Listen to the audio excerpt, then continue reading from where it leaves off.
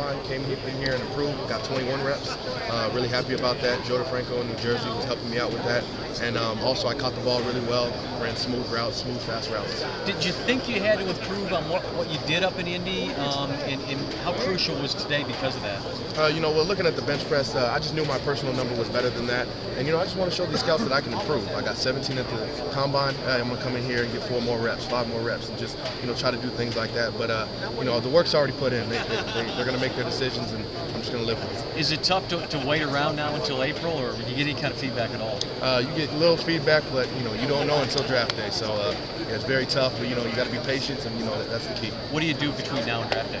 Uh, just continue to uh, work out and train, stay in shape, and just you know relax, ease your mind a little bit, and you know wait for draft day. You going back to LA and you work out back there, and any more contact with Knoxville, or is this pretty much it? You think? Uh, there'll be a couple more days in Knoxville, meeting with a few teams and things like that. But then after that, going back home to Los Angeles, see my family after about you know four or five months, and you know just uh, to see them. Working with Tyler and, and just to having some guys you, you've worked with, I mean, how, how critical was that for you today? I, I know that the, the bench press and some of the skill things Yeah. were, but, but just the, the throwing and the catching.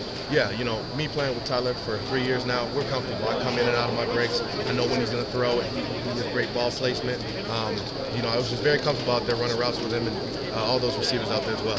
Good luck, man. Hey, thank Appreciate you. it, Mike. So how would you how did you feel? I jumped in a little bit late. How did you feel your on-field performance? You talked about catching a little bit, but Yeah. just talk about how you felt your on-field performance went.